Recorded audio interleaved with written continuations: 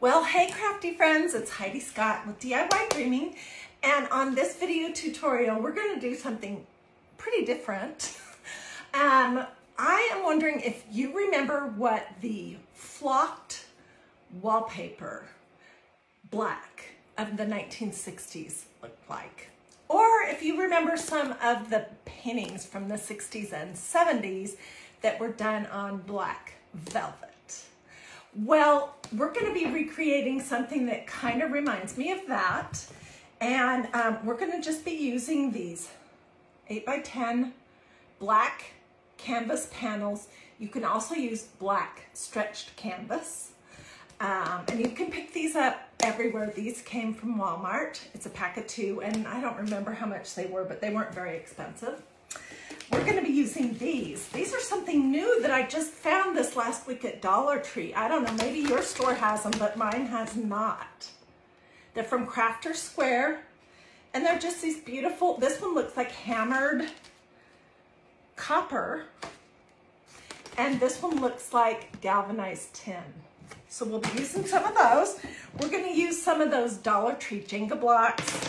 We're gonna use some of these all over pattern stencils, like my super old and well-loved Victorian pattern stencil, my flower power stencil, and my lace berries stencil, along with some black chalk paste, a little glue, and um, we're just gonna be making something a little different, putting my spin on the black damask flocked wallpaper at the 1960s. So let's hop right in and get started. All right, um, these are gonna be the front piece. And before I came live, I took one out. So it's all ready to go. Let's remove this copper one, this hammered copper. The, these came from Dollar Tree, uh, my Dollar Tree. They were a dollar twenty-five. And I think they're pretty um, nice. Okay, so first thing I'm gonna do is I'm gonna take one of my panels, uh, black panels, and I think I'm gonna do this one in the Flower Power All Over Pattern Stencil. This sort of reminds me of a damask. The, um, the vintage, the um, Victorian pattern does for sure. And I'll show you that in a little bit. Let's see, let's put this off center. You wanna make sure that everything is covered? And I'm gonna put the white uh, backing sheet underneath it. That will help me see where the edges of the stencil are and I won't get chalk paste all over my desk. Okay, so I just put my stencil on and rubbed it down. If you're doing this project, you either want to fuzz your stencils really well on a tacky towel, if they're new, or on a t-shirt, a pair of jeans, a pair of khakis or something, or use a stencil that you've used a lot, like this, for example. It does not need fuzzing ever again because I've used it so much. The, the majority of that super sticky stick is gone. Okay, and I'm gonna use black chalk paste, which might sound kind of weird to do black on black, but that's what that flocked damask black wallpaper looked like. And um, this even has slightly the feel of it. So we grab a stir stick and a squeegee and um, I'm just going to stir up my chalk paste a little bit and put some blobs on here. I always use too much. That might be too much. So tell me in the comments if you remember the flocked wallpaper, the black flocked wallpaper of the 1960s. Okay, I remember it because, and I'm just gonna push the chalk paste through the holes on this stencil. I remember it because my Aunt Cindy had, um, I don't know, she was pretty with it, I guess. Um, she had a room in her house that had the black flocked wallpaper. And I remember wanting to touch it as a little girl. And my mom was like, don't touch it. But we did anyways. Um, she also had some of those black velvet paintings. Do you guys remember those? I know there's a lot of them that have been done of things like clowns or Elvis, but hers were a mountain and streams or something like that. Of course, I had too much chalk paste.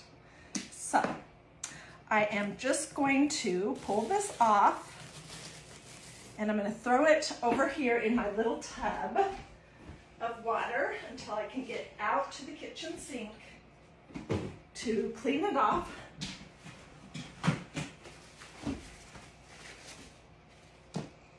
Then I'm going to try to get the stuff on this edge off. I'll hold it up and just a second. I don't know, can you see? Yes. Can you see how the, the black chalk paste is elevated and it's a little shiny compared to the matte look of the black canvas. So you can do this on a black canvas panel. You could also do it on um, a black stretch canvas. You could do it on, on, a lot of different things. Oh shoot, I don't have any wipes in here. Dang, and my hands are a mess. Look at this. Okay, so as you're hopping on, say hello. Let me know where you're watching from. Feel free to sprinkle. Oh my goodness. This is terrible.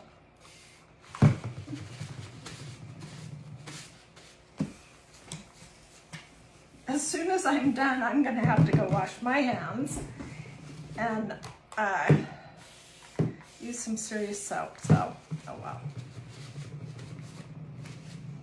Okay, this is what it looks like when you craft a lot, right? Okay, so before I came live, I did one of these. I'm gonna show it to you, and then I'm gonna show you the next idea. This one I did with the Victorian pattern. And I used my super old one, this one here, that I'm always saying is such a good investment in your craft closet or craft supplies because it's super versatile. I've used it on a zillion different projects and it looks terrible, but it still works absolutely just fine. So a couple of hours, I stenciled this a couple hours ago. And then I took it outside and I gave it a quick just very light spray of this clear matte sealer spray, Rust-Oleum brand. And I did that just so, it, I'm never gonna change this. I just did it so that it's not gonna get on your hands if you brush it. Okay, so let's start with this cross right here that if you missed it, it came from Dollar Tree.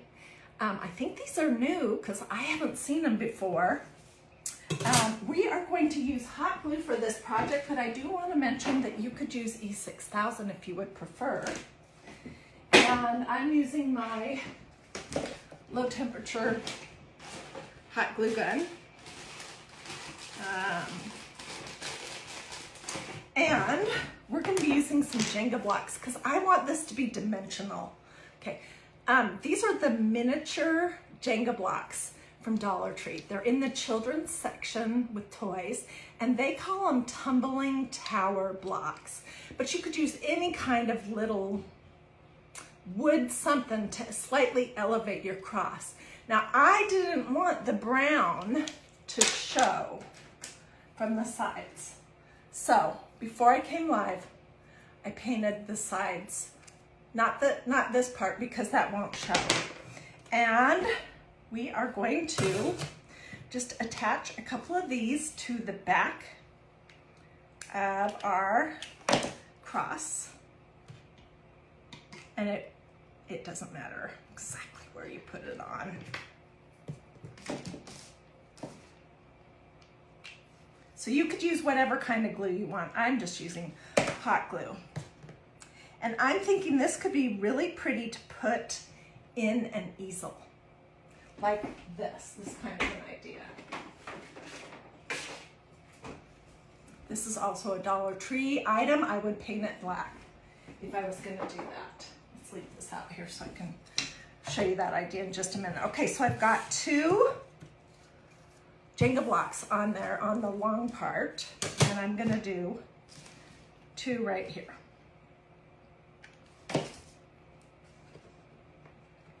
I don't know why these crosses have holes on the sides, but I'm just gonna ignore that. I don't think it matters. And I wanna tell you guys that you could doll these up absolutely however you want. I did make one rolled rosette out of some black and white ribbon that I have, but I'm not sure that I would even use that. Okay, this is what the back of my cross looks like. And from the side, you'll only be able to see the black. And I feel like that is going to blend in with the black of the canvas. So now I'm gonna just put some glue on all four of these pieces. And we're going to position this.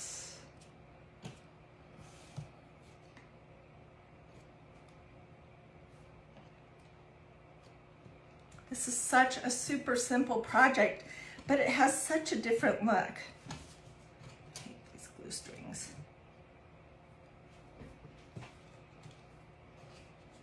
Okay, so what do you think? Isn't that pretty? Now my plan for this other one that will take about an hour to dry, my plan is to use this hammered copper. And to do the same thing, let's go ahead and build up the back of this right now. This is not straight. I don't care. And then I'll attach it to this other uh, canvas that we did with the Flower Power stencil.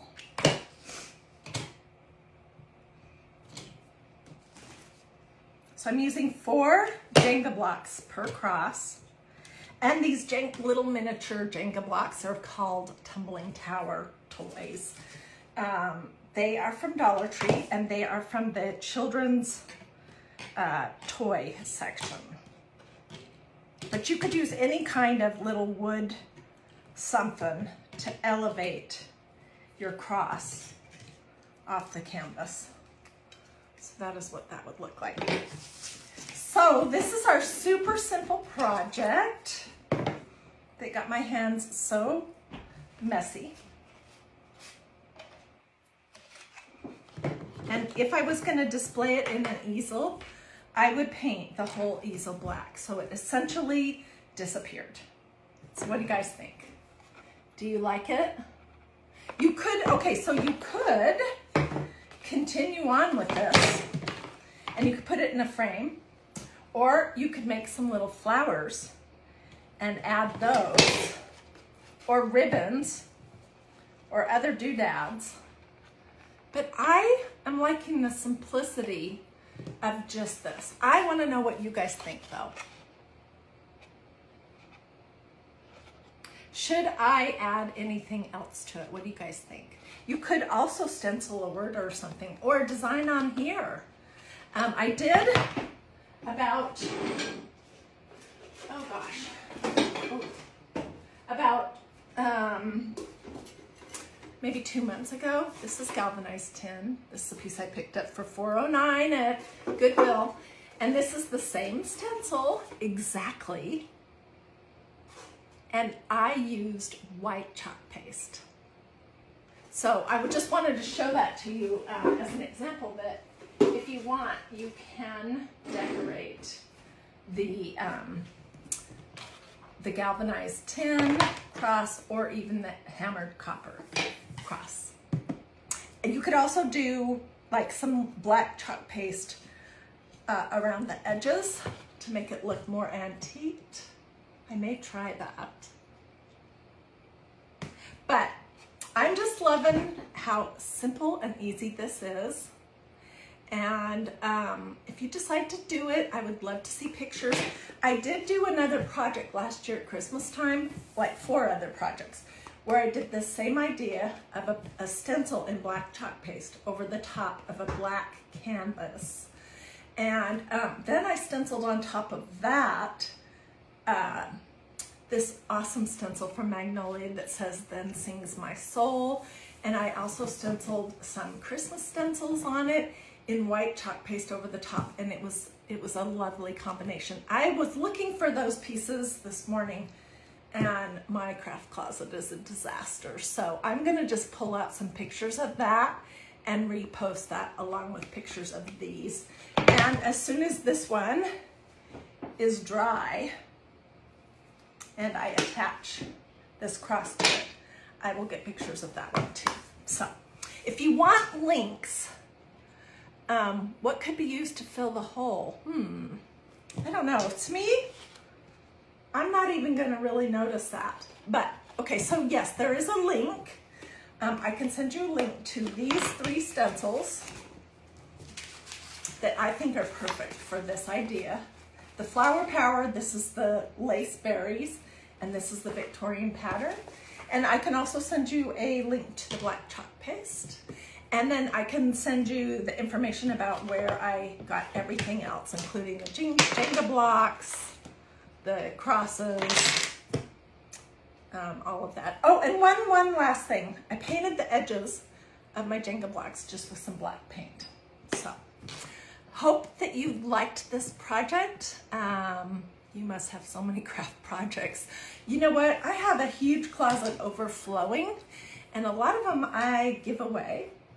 Um, but a good amount of them I hang on to so I can bring them out and show them as part of an idea at a later time. So I'm gonna be looking for those and I'll bring them out when I find them. And, but in the meantime, look here in the comments and I'll get you pictures of that, of the thing, the projects that we made that have this same idea that remind me of the flocked damask black wallpaper of the 1960s. So thanks for joining me. I'll see you guys later. Bye. Oops.